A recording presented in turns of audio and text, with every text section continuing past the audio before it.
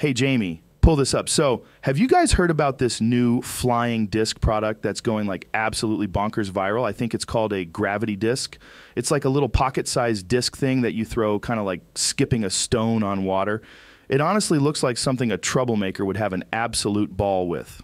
The latest news is that the guys who created it recently added like LED lights inside.